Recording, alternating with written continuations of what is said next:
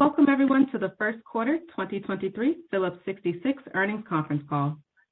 My name is Sierra, and I will be your operator for today's call.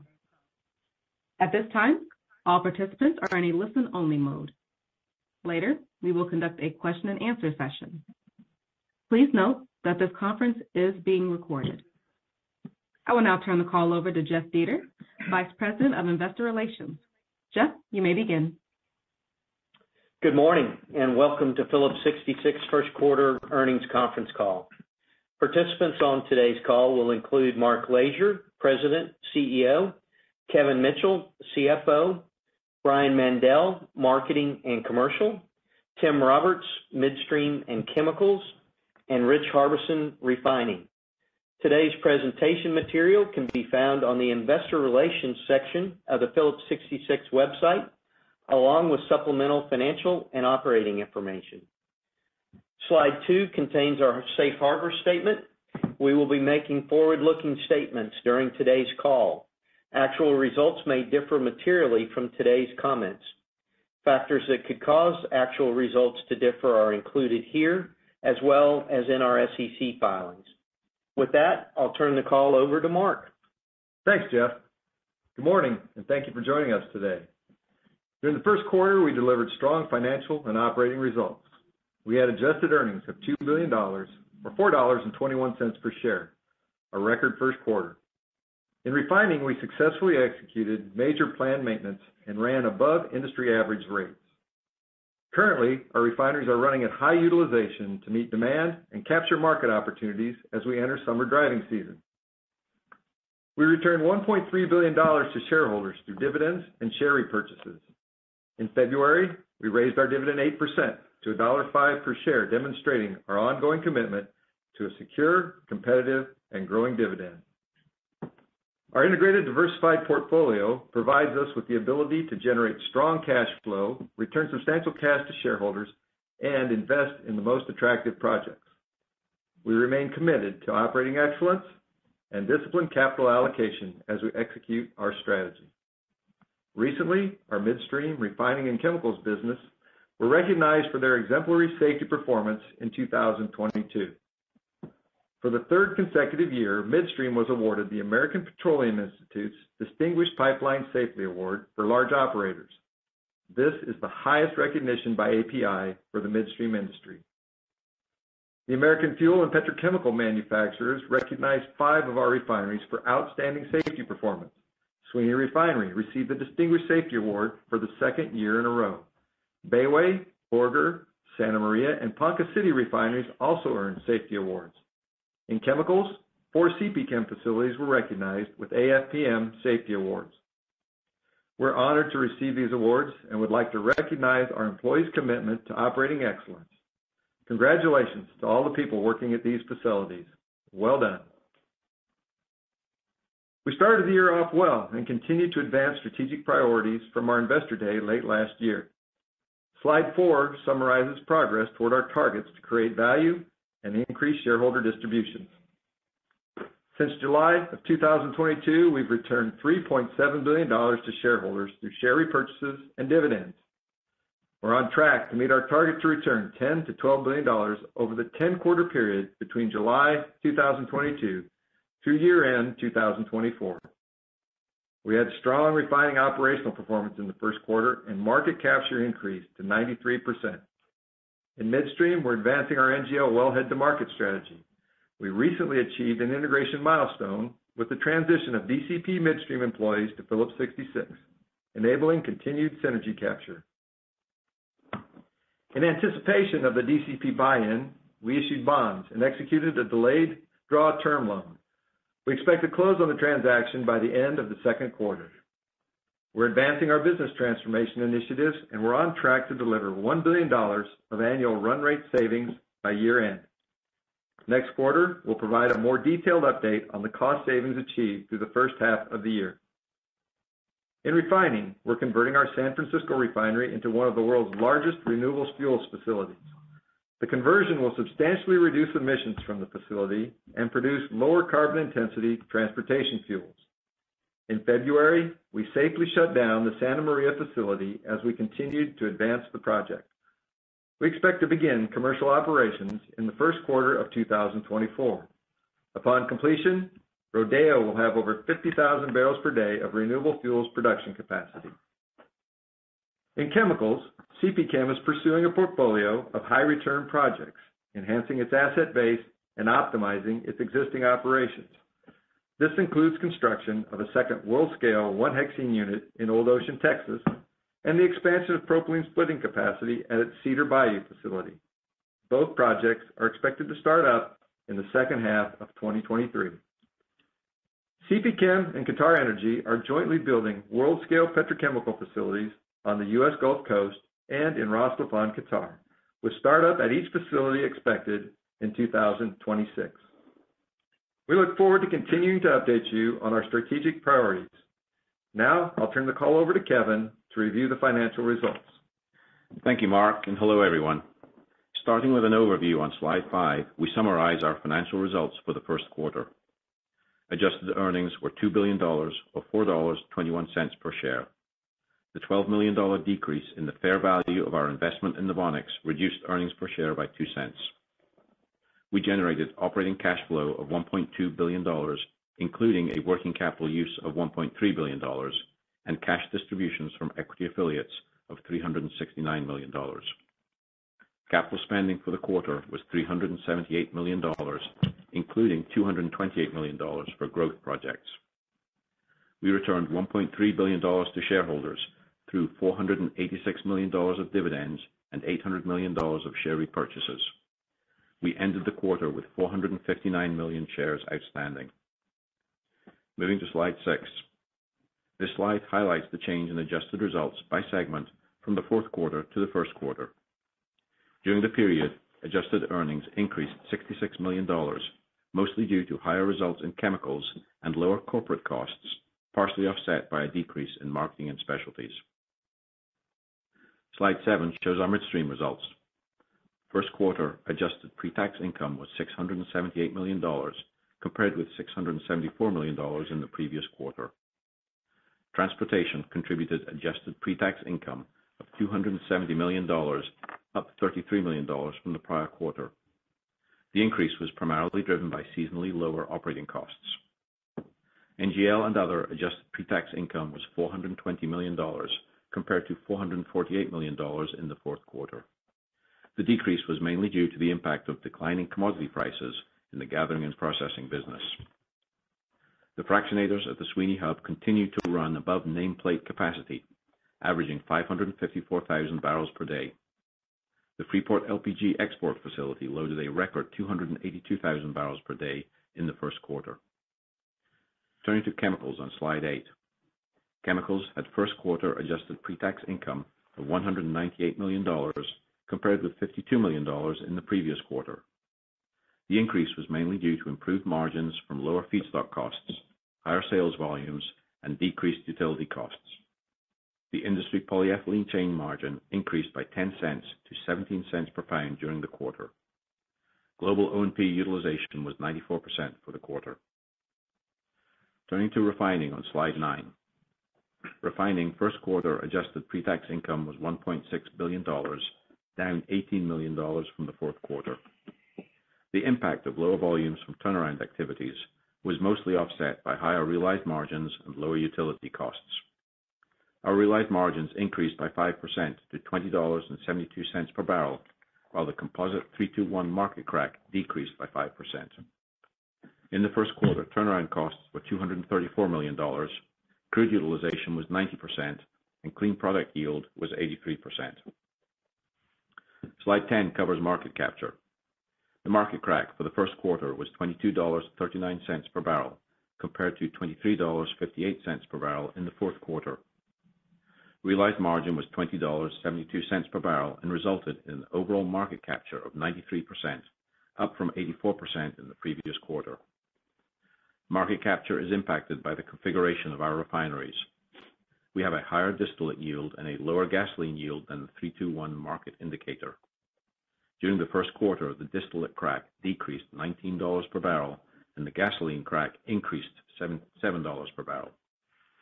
Losses from secondary products of $2.56 per barrel were $1.03 per barrel lower than the previous quarter due to falling crude prices. Our feedstock advantage of $2.34 per barrel was $2.37 per barrel improved compared to the fourth quarter, primarily due to running more advantaged crudes. The other category improved realized margins by $2.19 per barrel. This category includes freight costs, clean product realizations, and inventory impacts. First quarter was $1.73 per barrel higher than the previous quarter, primarily due to improved clean product realizations. Moving to slide 11. Marketing and Specialties had a solid quarter, reflecting stronger than typical first quarter margins.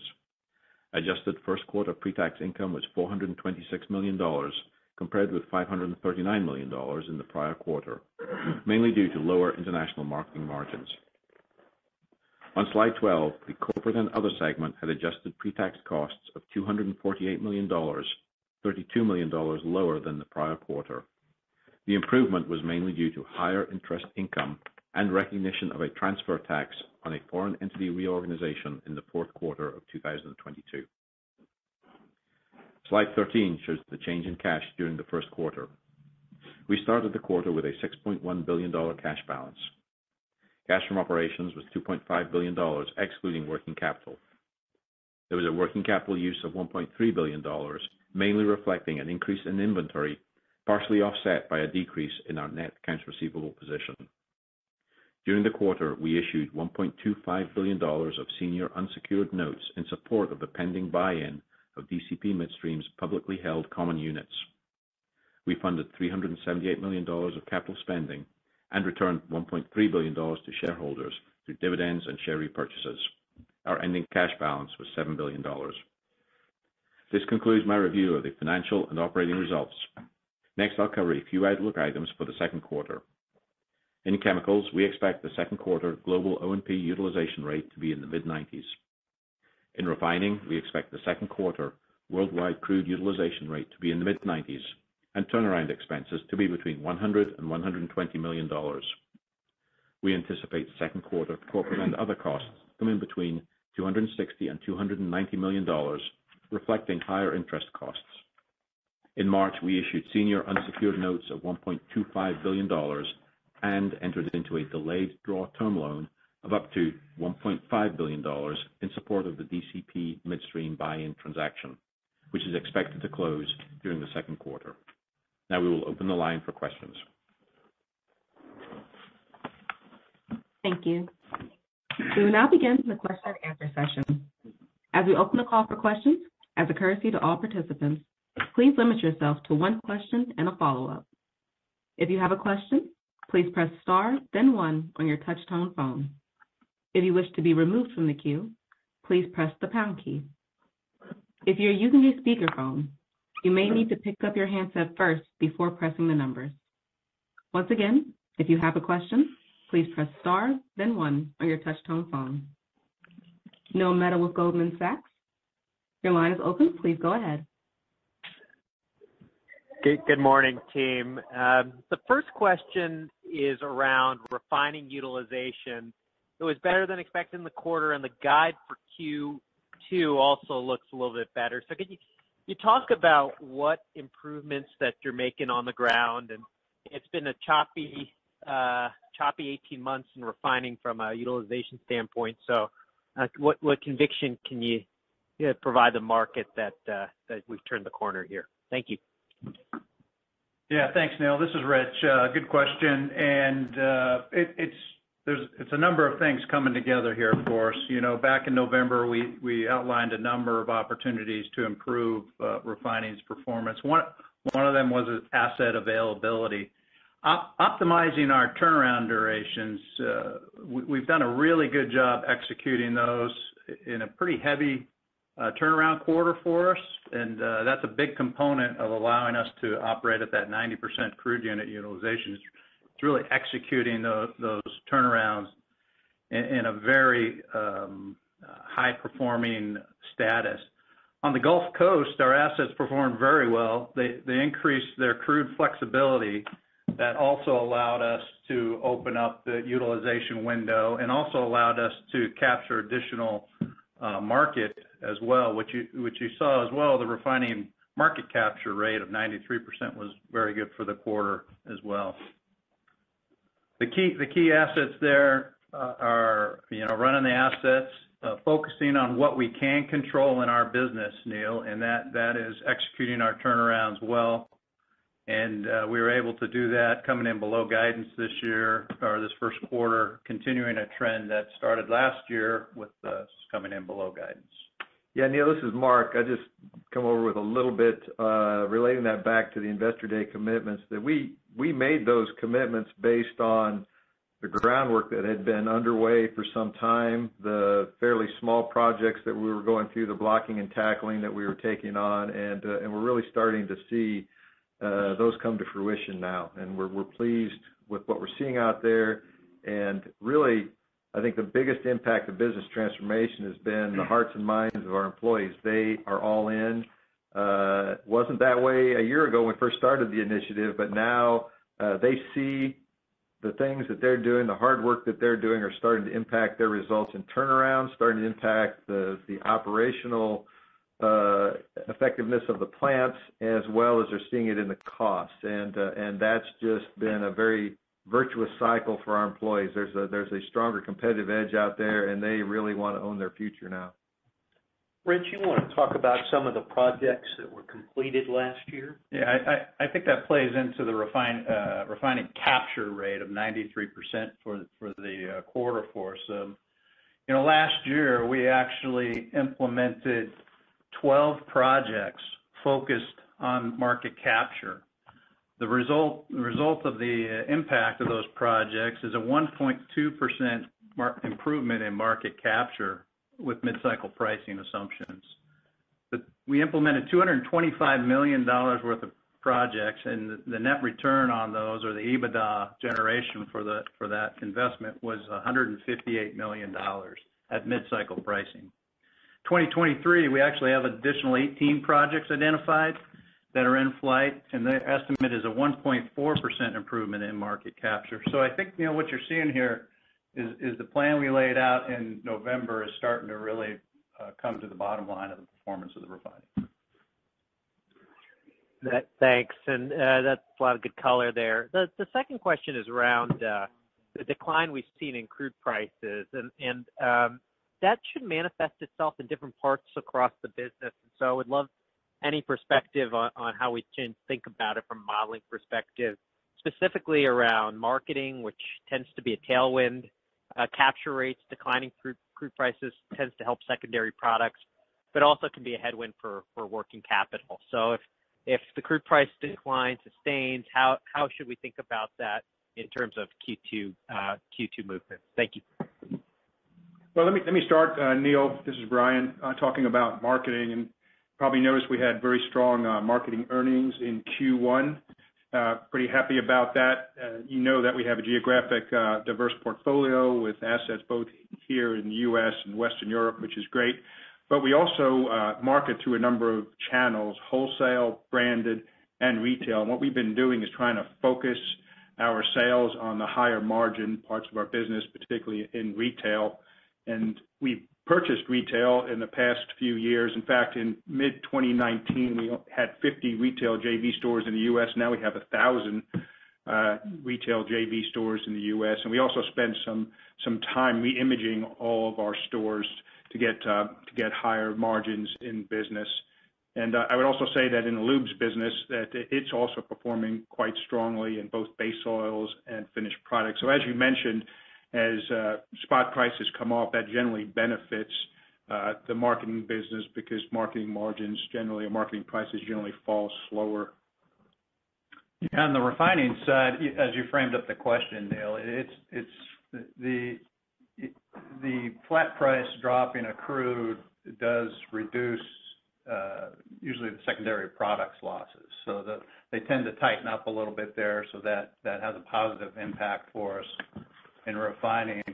But really in refining, it's for us, it's the differential that we we make our money off of on the light, heavy, sweet differential, and uh, that's what we keep a close eye on. Kevin, any additional color to add there? Yeah. Uh, Neil, just on the um, working capital impact, as you um, highlighted with the declining prices, we will have a working capital hurt because we're in a net payables position. Uh, so you think about a system that's essentially 2 million barrels per day and a uh, longer duration on the payables outstanding than on the receivables. So the the approximate rule of thumb is somewhere in the order of $40 million-$50 million of working capital hurt per dollar of price reduction. And that assumes that the crude and the products move together and the crack stays at the same level.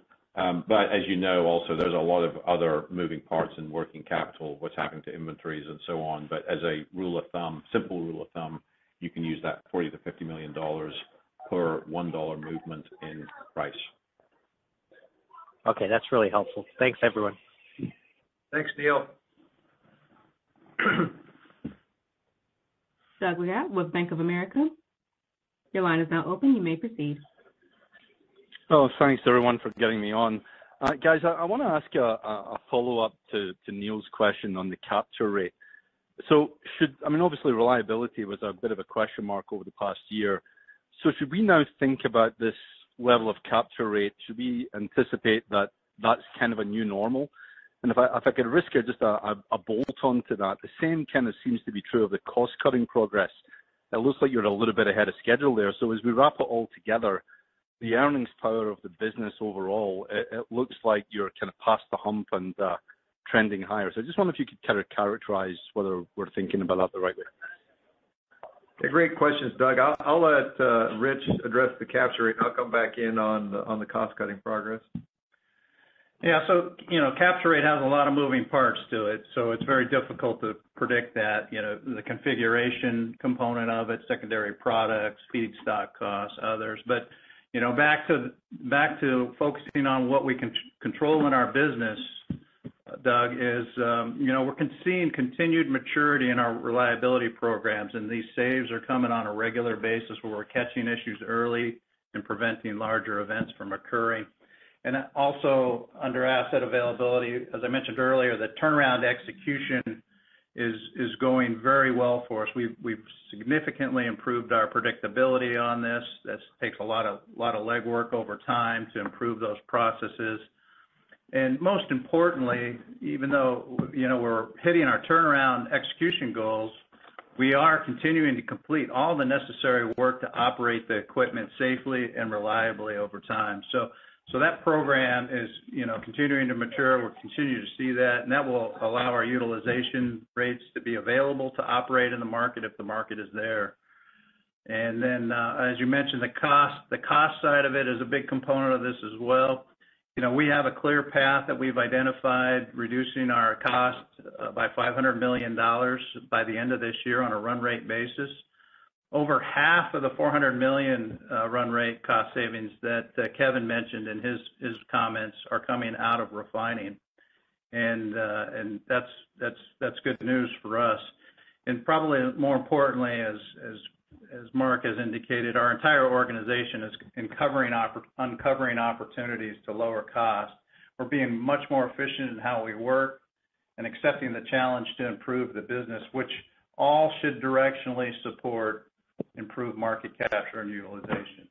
Yeah. Thanks, Rich. Yeah, Doug, we've uh we've really come a long way on the business transformation effort. It was a heavy lift, a major focus really for the last 18 months or so, and and we're seeing great progress. We we beat our goal of $500 million by year-end of 2022, and we're accelerating right into 2023, hitting more than $600 million in the first quarter. As I mentioned in our comments, we'll take you on a tour uh, of those realized savings uh, at the second quarter call. And you know, we're we're excited. The uh, organization is excited. We've made major changes in the structure of the organization that eliminates a lot of inefficiencies. We've got feedback loops that we've put in place to make sure that these these savings are real and that they're sustainable. And we're seeing it, and people have bought in. We're using some really really state-of-the-art tools to make sure that we're capturing uh, what we think we're capturing and delivering those results to the bottom line. So, you know, it's just an incredible change in the organization that we've witnessed over the last six or eight months as things start to be realized. A lot of progress in a short period of time, Mark. I guess my follow-up is fairly predictable, and I apologize for this, demand. Um, one of your large competitors talked about big increases in diesel demand year-over-year and a healthy outlook for gasoline, and market doesn't seem to believe that right now. I just wonder through your marketing channels, if you could share what you're seeing on both of those trends. Yeah, Doug, this is Brian. Maybe I'll talk about kind of what we're seeing in the market, and that's kind of what we're seeing in our business as well, although our volumes are somewhat off because of California flooding and because of some maintenance. But generally, for U.S. gasoline, we're seeing demand better than last year, and we're seeing global demand about 3% better than last year. We're now heading into gasoline driving season, as was mentioned, with kind of the lowest U.S. gasoline inventories in almost 10 years. We're also seeing very strong octane spreads. They're about a third larger than they were uh, first quarter of last year, $0.27. We would expect demand to hold better than last year, particularly given that uh, we have lower retail prices versus last year as well. On the diesel side, uh, the year did start off weaker early in the year with a warmer winter, but has begun to firm with uh, Mid-Continent planting season. Currently, we're seeing uh, U.S. diesel demand about 3.5% under last year. But that said, you know, global distillate demand is a bit stronger than last year, and some countries are seeing particularly strong diesel demand. In Latin America, we're seeing demand at 10% over last year, in China, 4% over last year. And finally, I'd say that um, in the U.S., it's been bouncing back and forth between max diesel and max gasoline. PADD 5s have been in max gasoline since mid-February, pretty much. PADD 1 signaled max gasoline in uh, mid-April. And so this bodes well for uh, for helping to firm up distillate uh, throughout the summer. Interesting color. We'll watch with interest, guys. Thanks so much for your question or your uh, answers. Thanks, Doug. Ryan Todd from Piper Sandler. Please go ahead. Your line is open.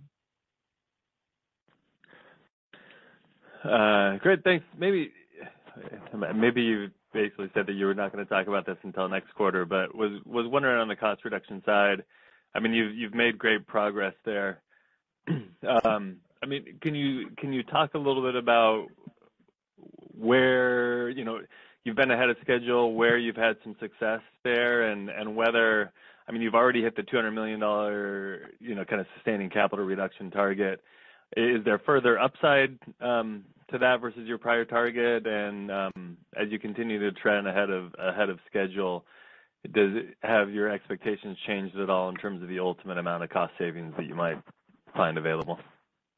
I'll touch a couple of those things, Ryan, at a high level, and then Kevin can can drill into how the how the savings are distributed. But really, refining has performed very well with respect to business transformation.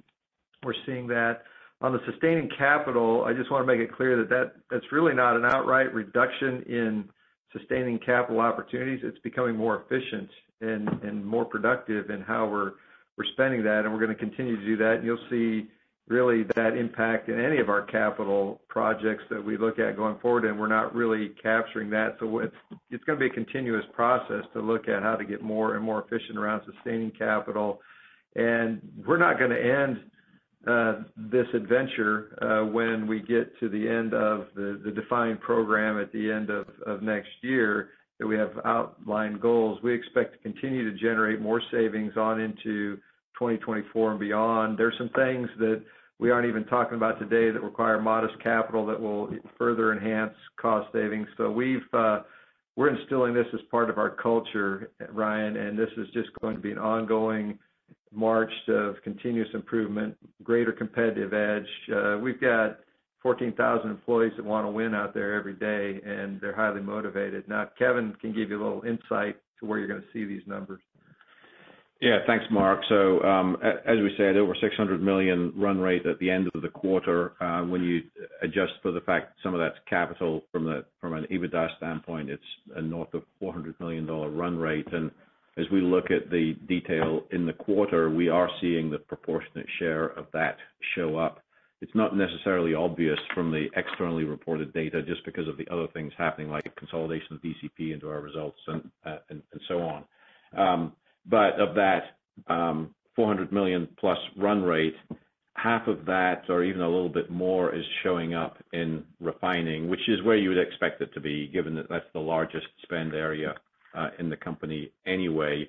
Um, we're doing this through a combination of um, organization work. We completed that last year, and we're seeing that benefit flow through this quarter between the sort of centralization uh, of some of our Um, activities across the organization. Um, we've done a lot of work around our processes where we've uh, been looking for ways to standardize and simplify the way we do work, and in some cases, just eliminate um, work. Uh and so we've optimized the sort of overall business support model around all of those activities. And then we continue to work on our external spend, the third-party sourcing activities, and leveraging Uh, the technologies that we really put the foundation in place with Advantage66 in terms of the digital um, progress we have made in those areas. So a lot of different um, elements to that, and we'll give more specifics uh, this time next quarter as we have the half-year results uh, available.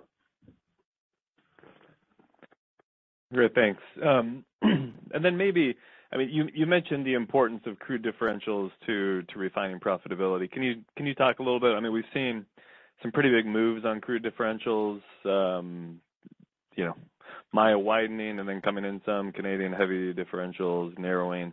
Uh, can you talk about you know, what you're seeing out there, what your outlook is for for some of these crude differentials over the remainder of this year? Sure, Ryan. This is Brian. I think overall, as you pointed out, sours gained strength since the beginning of the year. Um and this strength was a number of factors. You have uh you have now it's starting to weaken, but you have new refinery capacity in China and in Kuwait. You have new U.S. refinery additions on the Gulf Coast at Port Arthur and Galveston Bay. We had an unexpected OPEC cut, 1.1 million barrels.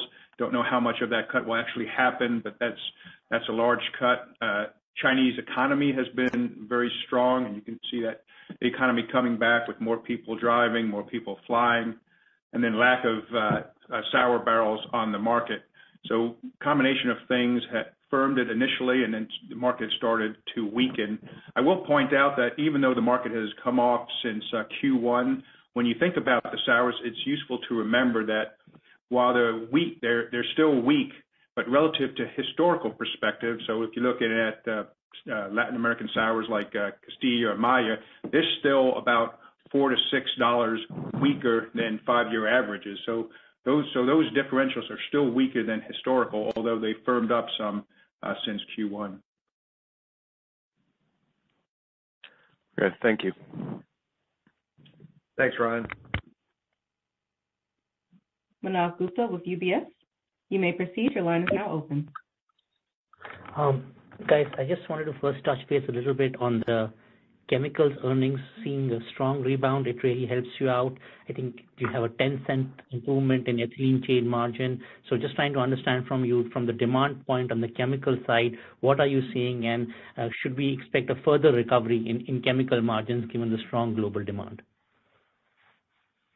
Yeah, Manav, this is Tim Roberts. On the chemicals front, what you've got really are, yes, we did benefit. The benefit was really related to lower advantage feedstocks, ethane, propane, butane, uh, namely here in the United States. So you saw that advantage. As those prices dropped, um, they became advantaged in the crack, and subsequently, that showed up in the margin. The other side of that as well is lower natural gas prices, which of course is driving that whole structure.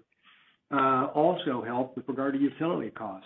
So you had lower utility costs, better feedstock advantage, so it really helped in the quarter. Um, you still got a supply issue and you have a demand issue. On the supply side, fundamentally, you've got more capacity that's coming on board in here in the United States, so you're going to have to work through that new capacity. The demand side is coming around, um, but you're still trying to work off a lot of inventory that happened as you had the supply chain disruptions out there in the marketplace. So you got to work through that inventory, and you also need to see China coming back stronger. As Brian mentioned, there is some strength there in travel, driving, so some good things there. Needs to also show up in consumption on that side, as well as production to meet global demand for uh, products made out of polymers. So fundamentally, uh, I think it's still going to take us a little bit of time to work through those two imbalances. We're not expecting anything to happen by the end of the year that's going to be a significant bump. But I would throw one caveat, is China is a significant impact in the market. If they're clicking on all cylinders, you can see things change rapidly. Um but at this point in time, we've got an inventory to work off, and we need to see some additional demand come back, especially from Asia.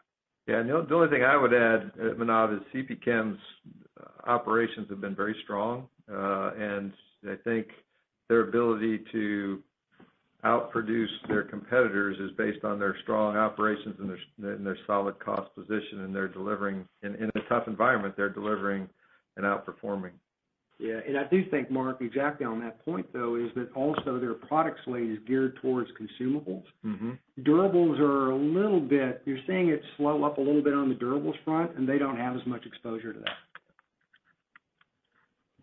Perfect, guys. My quick follow-up is if you can get some updates on your, the progress you are making on your renewable diesel project, and uh, hope it starts up by year-end or early 2024. Yes. Uh, Manav, we're we're making good progress on the project out at Rodeo. You heard me mention we we shut down the Santa Maria facility, which is a, basically a feed prep unit for the the, the Rodeo facility. Uh, the project is, is is moving along, and been lots of weather challenges out there, but the team has fought through it and dealt with it. Uh, and we're looking forward to having that on in the first quarter of next year. Uh, and I'll remind you that uh, we've had a unit there operating and producing renewable diesel, what we call Unit 250, since April of 2021. I'll tell you what, it's exceeded both our operating expectations and our commercial expectations. And uh, frankly, we're ready for more. Uh, we've got a great strategy out there, and uh, and we are implementing and executing. I'll let Brian touch on more of those details. Hi, Manav. Just um, to follow up on Mark's point, you know, the margins that we've seen at Unit 250 since we started the unit in Q1 of 2021 have been better than we premised every single quarter.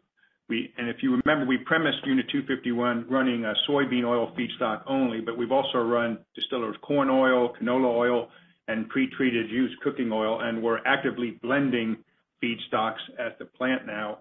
And in general, just a general comment, we're seeing three times the volumes of low CI imports into the U.S. now than uh, last year, and we're also seeing more crushing capacity for vegetable oils. And then on the marketing side of the business, we're selling almost all of our production through our branded and retail outlets directly to the end consumer. And we've also sold volumes to geographic locations that offer higher credit incentives than uh, California for some of the feedstocks. And then finally, on the credit side, the LCFS programs are currently available in California, Oregon, Washington, and Canada, as you know. We're seeing other states proposing these programs, and in fact, Minnesota and Pennsylvania are two states that recently proposed an LCFS program. And then Mark, that's the kind of commercial side. Mark mentioned the operating side, too. And on the operating side, we're seeing higher than premised yields of RD at greater than 95%. And we're also making 30% more renewable diesel production at the plant than we originally thought. So as Mark pointed out, we're looking forward to Rodeo Renewed. And Rodeo Renewed will also have the flexibility of producing up to 10,000 barrels of renewable jet fuel with very little capital. Those are all very encouraging updates. Thank you, guys. Thanks, Manav. John Royall with JPMorgan. Please proceed. Your line is open.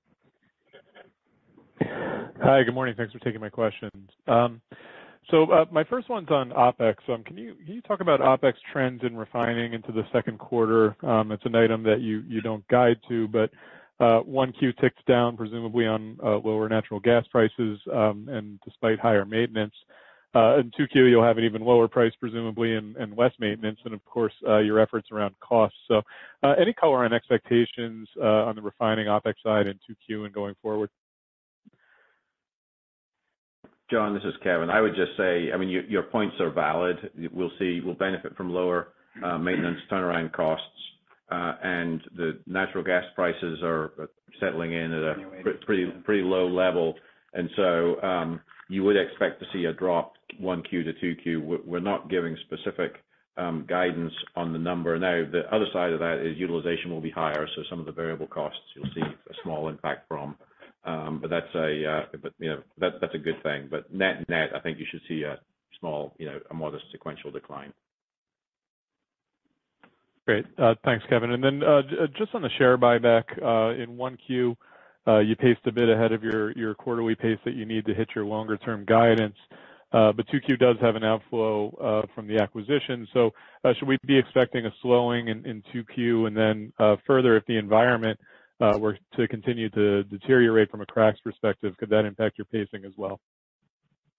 Yeah. John, I wouldn't be too concerned about buyback pace um, being driven by the funding the buyback because as you know, we had a $7 billion cash balance at the end of the first quarter. Um, we had drawn we had issued the $1.25 billion of notes, but we have the uh, term loan facility, which has not been drawn yet. And so we will draw on that as we fund the the buy-in. So even all other things uh, unchanged, we'll still have a healthy cash balance at that point in time. We're still generating cash. Uh, and so I think that um, our buyback pace should still be at a res- very respectable level in the second quarter. I, I, I, The balance sheet's in a good position. The operating cash flow is still strong. Uh, we've seen some weakening in refining margins, but relative to our mid-cycle assumptions, the business is still looking really good. So I'm not too concerned about the buyback pace um, being impacted by the DCP buy-in. Thank you. Matthew Blair with TPH. Please proceed. Your line is open. Hey, uh, good morning. Um, I was hoping you could expand a little bit on the dynamics in the Central Corridor in Q1 and then heading into Q2 as well. Um, I think you ran at 89% utilization in Q1. Um, were Wood River and Borger still impacted by some of the issues from from Q4? It it looks like your margin capture was actually pretty good in Q1, 116%. Um, was that a function of wider WCS diffs? And and then I guess, you know, would we expect you know, lower margin capture in Central Corridor heading into Q2 with narrower WCS diffs? Yeah, this is Rich. Um, so, Central Corridor, I think the first thing to remember, the quarter-over-quarter analysis. Fourth quarter, we had some pretty heavy headwinds with the Keystone shutdown and the winter storm effects. So, that kind of sets the baseline. In the first quarter, we did see improved feedstock advantage, uh, running the heavy heavy crudes. More importantly, we were able to actually increase our crude slate percentage of these crudes that we were able to run. That impacted our market capture there as well. Now, some of that was offset by the unplanned downtime impacts that carried on, initiated fourth quarter, carried on into the first quarter. That unplanned uh, downtime, primarily at Wood River, was is now uh, repaired, and facility is back up and running. We did slide one turnaround from the first quarter to the first half of the second quarter. That turnaround is now wrapping up this this week here. So we do expect the utilization rates to get back to higher levels for the WRB assets. Um, You know, there also there was other some slight turnaround impacts as well to the to that first quarter results, and a little bit lower market cracks also that played into that that result. Uh, that's how we see the Central Corridor kind of moving forward. You know, we expect our utilization rates to uh, turn back upwards. Great. Thanks. Um, Thanks for the uh, comprehensive RD update. Um, I just had one follow-up there. Could you talk about how the process is going for getting LCFS pathways? You know, some of your peers have mentioned that CARB is pretty pretty backed up, and it's taking longer than expected. You know, as you bring on the full site uh, in Q1 2024, would you expect to have all your LCFS pathways at that time, or is that a risk to the um to the earnings contribution? Well, we this is Rich again. We anticipated this flood of activity that would occur to get these LCFS pathways approved, and we've been working diligently to get these approved even ahead of the startup of the project. Any pathway that was approved for the Unit 250 operation is also applicable to the uh, Rodeo Renewed uh, project as well. So, while we are concerned, I would say that uh, you know there is a flood of applications to Pathways, um, we think we're in a good position, and that should that should meter into our system consistent with the startup of the project. Great. Thanks so much. Paul Cheng with Scotiabank, please proceed. Your line is open. Hey, guys. Good morning. Hey, Paul. Um, Mark, just uh, two questions. First, um, with the new California uh, windfall profit penalty uh, that being passed, how's that change your view, or does it change your view about your California asset, both in the refining and marketing? Yeah, Paul. You know, that's been taking up a lot of intellectual capacity for, for I think, the entire industry since that was that was rushed through. Uh, before that, California was a tough place to manage refining business, and and I think this just makes it even a little more difficult. Uh, we're, like everyone else, working hard to understand both the intended and unintended consequences of SBX 1-2. Uh, and It certainly, at a fundamental level, creates more uncertainty, and uh, it's going to make it more difficult for people to step up and invest in the supply chain that the consumers need. Because you know, even though you've got a lot of things coming over the hill uh, to reduce demand today, demand is strong, and you can see what happens when there's disruptions, uh, and the supply chain can be pretty tight there. So it's really tough for us to see how this new law is going to benefit the consumers at the end of the day. Mark, do you think you or uh, the industry is going to challenge them in court? Because I'm not sure how, if the industry has not been proven uh, to have done anything wrong, why that will be slapped with a penalty. Yeah, I think that it's logical to assume that uh, industry associations will uh, defend and protect the interests of the industries, and even individual companies may may take action. Uh, that's certainly going to be up to each company. But from an industry perspective, I think that that's an angle that's obviously being looked at. Okay. The second question, I think this is for Kevin. Kevin, you mentioned about in the refining uh, capture in your presentation, in the upper columns, uh, there's a very big positive. And I actually went back to the last, say, four or five quarters. Uh, I think mainly, without exception, that column is always a negative. Uh